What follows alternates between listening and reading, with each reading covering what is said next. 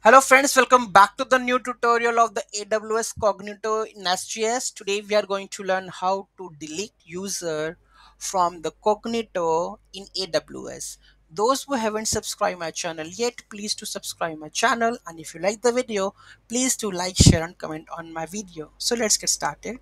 So here in the previous one we have the user which the name is user which the user we have created. Let's have a look on that so here we go with this one.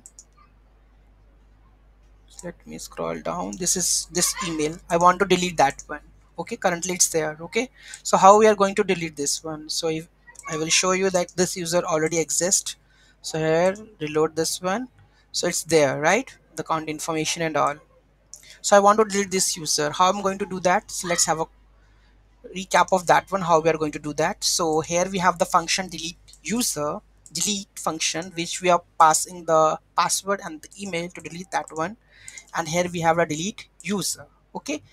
So here we are passing the, again the authentication details user pool data okay? But here we have to we have to again authenticate that user right? After the authentication then we are using the cognito dot delete dot user part okay?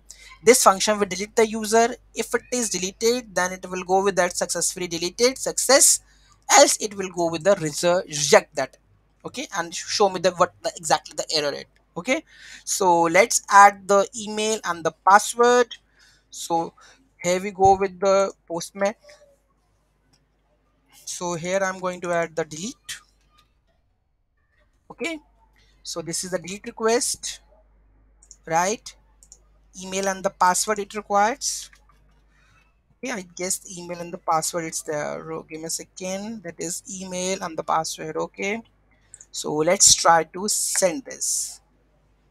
Okay because we haven't run the command. Let's start. Started. Let's hit that api cannot delete not found. Why it's not found? Let's me let me check this one. So here we go with the auth controller. So here we have the delete function.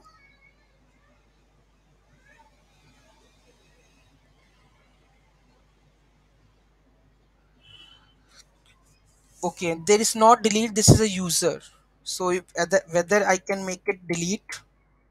Okay so let's rerun again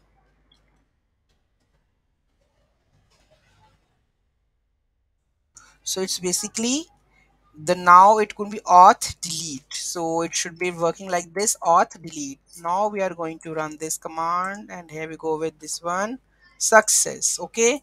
So go with this one here and check the user. You can see that fail to fetch the user. That means user does not exist.